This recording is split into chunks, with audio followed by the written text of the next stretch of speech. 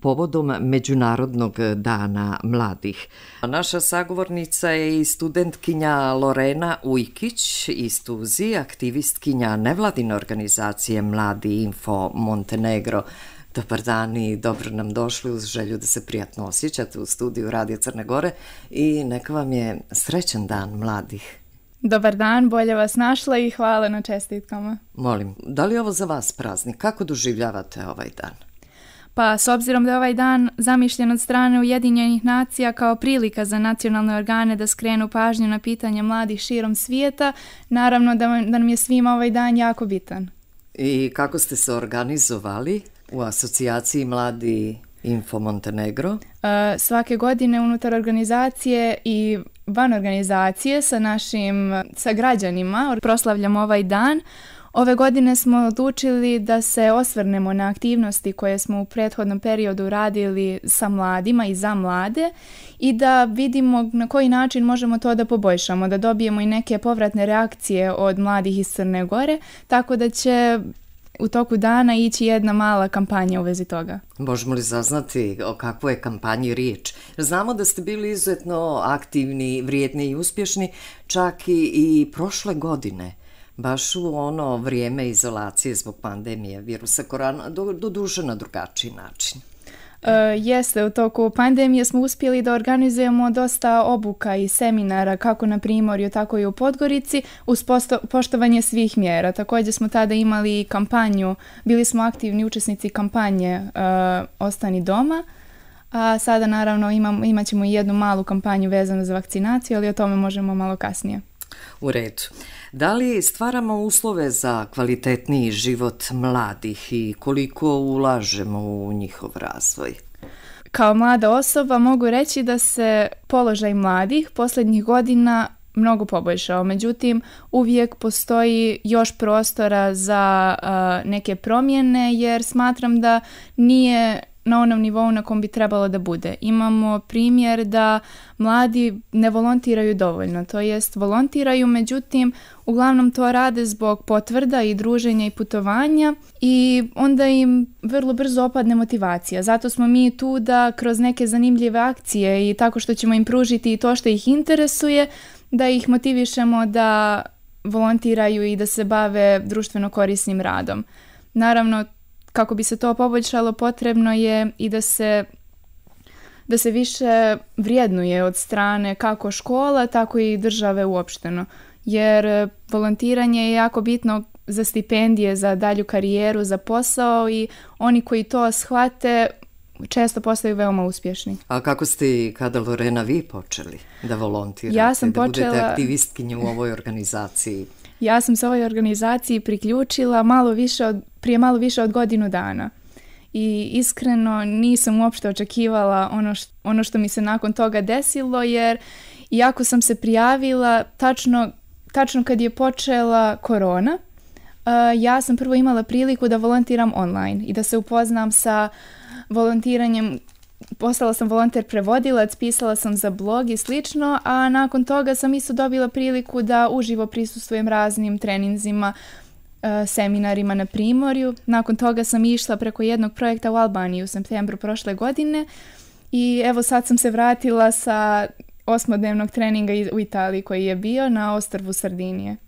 A zašto je bio vezan? Za koju temu je bio vezan taj trening uh, u Italiji? Trening je dio SLAM projekta i bio je konkretno vezan za masovne medije i za stereotipe prema migrantima i izbjeglicama. Odakle su sve bili učesnici i šta ste uspjeli sve da saznate tokom tih osam dana boravka u Italiji? Pa jedna prednost ovih treninga je što upoznate učesnike iz raznih zemalja. U ovom slučaju su to bile Albanija, Bosna i Hercegovina, Crna Gora, Srbija, Bugarska, Italija i Turska.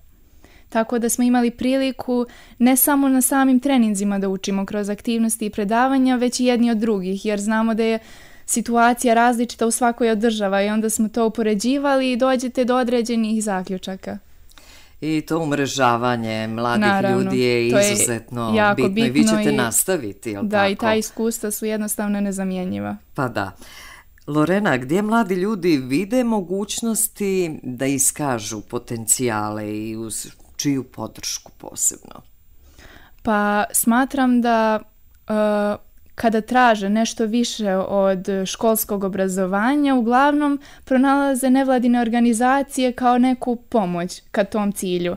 Jer nevladine organizacije pružaju uh, kako usavršavanje same ličnosti, tako i razne aktivnosti, upoznavanje ljudi, putovanja i smatram da su ta iskustva ono što mladu osobu nekako što mladoj osobi pomaže da odraste u pravo čovjeka. Mhm, dakle, Ovo... vi tu vidite te mogućnosti da mladi da, iskažu a... potencijale, ali ne samo tu. Ne samo tu, naravno, tu su i e, škols školsko obrazovanje, u šta spadaju razne stipendije za inostranstvo, ali opet se to isto vezuje za ove volonterske aktivnosti i nevladine organizacije jer je to ključno, jer svako, svak, svaka mlada osoba može da ima školski uspjeh, međutim uvijek se gleda društveno angažovanje, kako, kako, kakva ste osoba van škole i ostale stvari. Vi ste upisali fakultet i počinjete od jeseni, je li tako? Tako je, ja sam slu, slučajnim, po nekim slučajnim okolnostima odlučila da ostanem u Crnoj Gori i da upišem arhitekturu na Univerzitetu Crne Gore. A šta je opredijelila za to? Pa, s obzirom da sam prije toga razmišljala da upišem psihologiju i društvene nauke, tad sam se bila odlučila za inostranstvo, jer sam smatrala da je za tu oblast bolje da odem negdje drugdje i da steknem neko novo iskustvo. Međutim, s obzirom da mi je otac arhitekta, arhitektura nisam mogla da odem jer ću ovdje imati pomoć i podršku koju negdje drugdje ne bih imala. I to će mi, smatram, pomoći da brže učim i da usvajam nove vještine. Pa da, imat ćete i u kući podršku roditeljsku, prvenstveno od oca. Eto, kada govorimo i o toj stručnoj pomoći, izuzetno je bitno. Slažem Zar ne? Evo, koliko se m, trude mladi ljudi da budu vrijedni članovi društva i šta je sve potrebno za podsticanje razvoja? E, kao što sam malo prije pomenula, mladi nisu previše zainteresovani za volontiranje i za doprinos društvu, to jest svi žele da budu humani, žele humanitarne akcije, međutim e, nešto ih fali motivacije da, sa, da prisustvuju tim akcijama. I tu dolazimo do toga da se volontiranje ne vrednuje dovoljno u Crnoj Gori i da kada... Ali imate informacije iz okruženja, iz inostranstva, ili tako? Iskustva drugih mladih ljudi, kako se vrednuje u njihovim zemljama? Pa, na primjer, u Americi je volontiranje obavezno. Da. Na primjer, mnogi naši, uh, mnogi moji vršnjaci su išli na razne razmjene i uh, pričaju kako je tamo obavezno, na primjer, 100 sati volontiranja ili nešto slično. Tako da, a i smatram da se mnogo više vrijednuje. Tako da kad bi kod nas možda, na primjer kod nas kada upisujete fakultet, niko vam to ne gleda, gledaju samo uspjeh u školi. Pa da.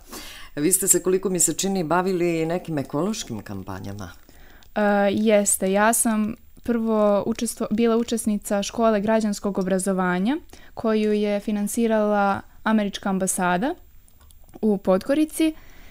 I uh, mo, nakon toga smo imali priliku da napišemo projekat. Može, skupili smo nas uh, šestora, napisali smo projekat za ekološku kampanju s obzirom da smo bili dio grupe za zaštitu životne sredine, to jest u tome smo učili u toku škole i uh, nakon što smo napisali projekat dobili smo određeni budžet i započeli smo tu kampanju preko društvenih mreža. Trajala je mjesec dana i direktno smo uspjeli da uključimo 100 mladih iz Crne Gore.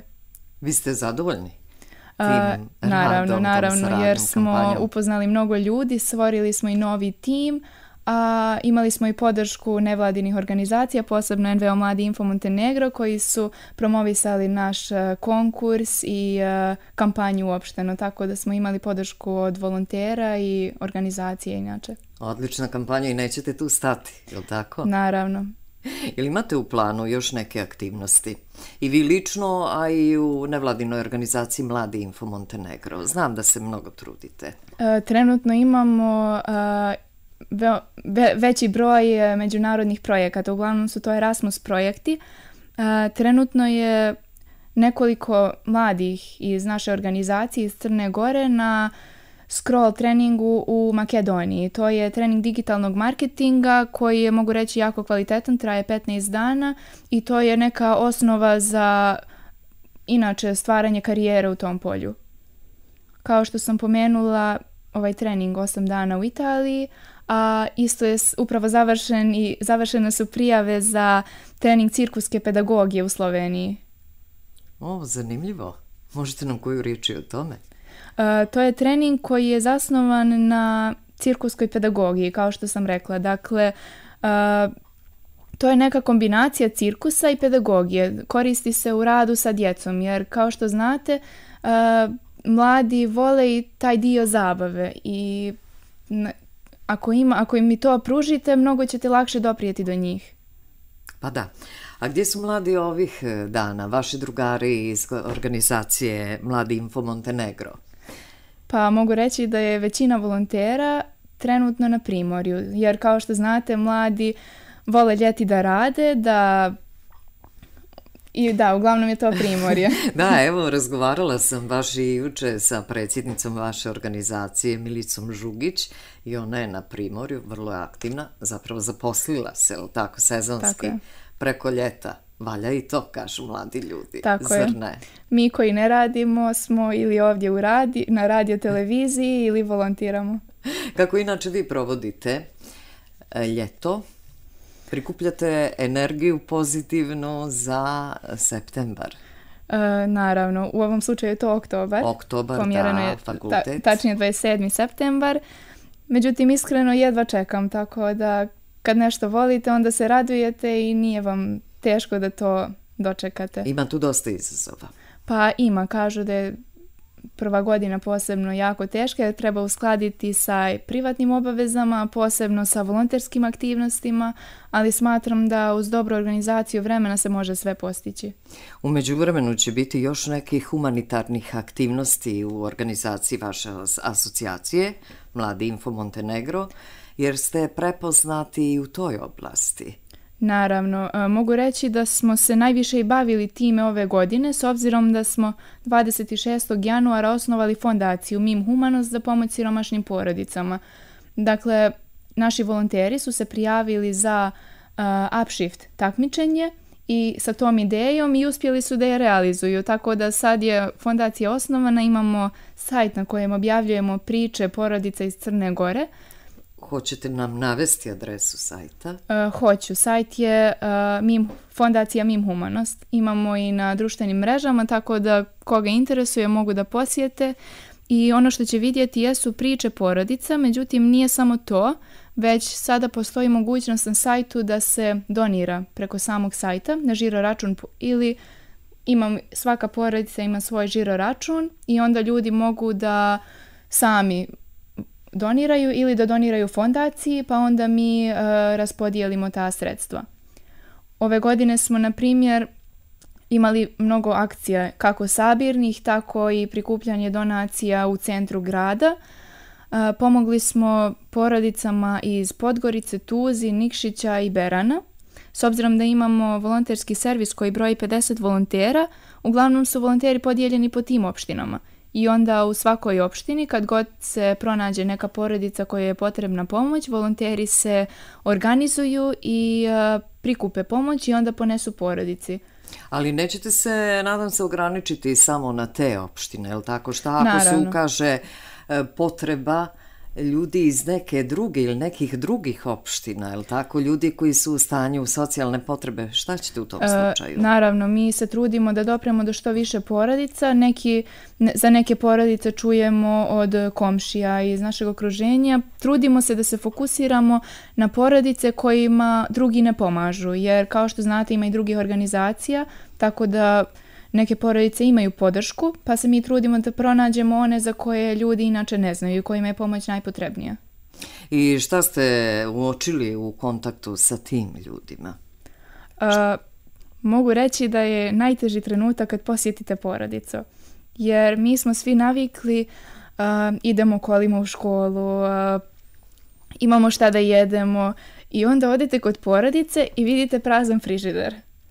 Tako da i na primjer imate porodice znate, nemaju kola. Uh, posljednja porodica koju smo pomogli je iz Podgorice, porodica Kulić. Uh, dakle, roditelji imaju manje od 100 eura primanja, a plaćaju, a troše oko 200 eura. Dakle, plaćaju kiriju 100 eura i plus struja. Jer uh, imaju tri čerke, najstarija ima šest godina, ona je zdrava, međutim imaju dvije mlađe čerke. Jedna ima tri godine i ima cistu na glavi, tako da ima problema sa govorom. Za nju primaju neka, neki određeni iznos, a imaju i malu čerku od godinu dana. Dakle, za nju su primali uh, dodatak za bebu, međutim ona je napunila godinu dana, pa su im i to ukinuli. A ta beba isto bolesna, dakle svaki dan ima problema sa srcem, sa usporenim razvojem i svaki dan idu kod doktora pa mi majka šalje slike kako su ju operisali pa ne znam, ni oni ne znaju, pokazala mi je ono, otvorila plakar i pokazala puno ono, papira od doktora i od muža i od čerki. Tu su bili, dakle, ti izvještaji specijalistički, ili tako? Jeste, tako je. I šta ćete dalje? Po pitanju te porodice? Uh, mi smo Jeste toj razmišljali porodici... da posjetite Centar za socijalni rad, možda da se obratite i Ministarstvu rada, odnosno socijalnog staranja? Razmišljali smo o tome, ali uvijek su te situacije malo komplikovane. Naprimjer, muž radi, ali je na bolovanju jer ne može da radi i onda prima oko 50 mjesečno. 50 eura? Da. Uh, što je ništa. Oni su se obraćali... Uh, obraćali su se i za socijalno i za socijalna primanja i za sve, međutim kako su mi oni to predočili nisu mogli dok je muž zapoš, zaposlen. Tako da ćemo se mi potruditi da vidimo šta možemo da uradimo povodom toga, jer koliko god da im mi pomažemo, koliko god da im nosimo i namirnice i novac, to su dugotrajni problemi. Mi, mi smo tek osnovana fondacija i Drugo bi bilo da mi imamo isto neka primanja od države pa da njima redovno dajemo. Naravno to je u planu da pronađemo donatore koji bi nam u tome pomogli jer e, jednostavno ponekad vidite te porodice i osjećate se nemoćno jer ni vi ne možete baš ono sve da, da uradite za njih. Da, nužno je naći da. E, kvalitetnije, trajnije Tako rješenje, rješenje, a takvih i sličnih slučajeva ima zaista mnogo u Crnoj da, Gori. zato i ne možemo samo jednoj porodici da pomažemo jer se trudimo što više njih i onda eto tu se javljaju male komplikacije. Da, to su one barijere u društvu, ali i barijere i u vašem radu. Šta očekuju mladi ljudi na putu kvalitetnog obrazovanja, rada i dostojanstvenog života? Šta očekujete i tražite od države? Uh, mladi očekuju da mogu nakon fakulteta da se zaposle, to mogu reći i oni koji smatraju da to ne mogu u Crnoj Gori su najčešće oni koji odlaze. Uglavnom su to mladi koje interesuju određene, određeni smjerovi, to jest fakulteti, koji, e, za koje se u Crnoj Gori ne može baš, baš naći posao. Na primjer, imate molekularnu biologiju i slične oblasti i oni najčešće odlučuju da je za njih najbolje da odu negdje drugdje i da tamo započnu svoj privatni i poslovni život. Da, vi kada završite fakultet, arhitekturu, jel ostajete u Crnoj Gori? Jel uh, razmišljate ostajem. sada i o tim danima? Mislim da ću ostati, jer smatram da u Crnoj Gori ima mnogo poslova za arhitekturu, a i tu ne zavisite baš od nekog drugog, jer je to posao koji možete individualno, to je samostalno da radite, tako da vam tu i ne treba, kako da kažem, da vas država zaposli. Šta još e, tražite ili očekujete od onih koji odlučuju o životu mladih ljudi, o obrazovanju, o radu? Jel imate neku poruku danas za njih? Imate pravo, ovo je vaš dan. A, pa poruka bi bila više prakse. Jer e, čula sam, to jest ja, tek, ja sam tek upisala fakultet i nisam još počela da studiram, ali mnogo studenta govori o tome kako uče više teorija, imaju manje prakse i onda izlaze iz fakulteta nespremni, tako da smatram da je, ono, da je to ono što svi žele. U redu, lijepa poruka. Hvala vam mnogo i da budete i dalje tako vrijedni i uspješni. I pozdravite vaše drugare iz organizacije Mladi Info Montenegro. Hvala vama. Molim. Poštovani slušalci, naša gošća je bila studentkinja Lorena Ujkić, aktivistinja nevladine organizacije Mladi Info Montenegro, povodom 12. avgusta Međunarodnog dana mladih.